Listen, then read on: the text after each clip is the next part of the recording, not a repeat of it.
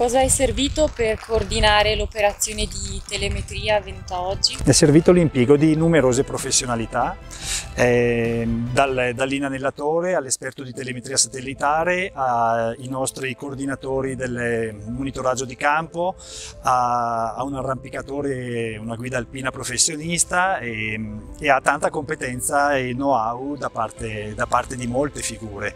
È servito l'appoggio di un parco nazionale dello Stelvio coordinato da ERS ERSAF eh, ed è servita questa opera di ehm, coordinamento internazionale che da molti anni eh, rende speciale il progetto di reintroduzione del Gipeto sulle Alpi.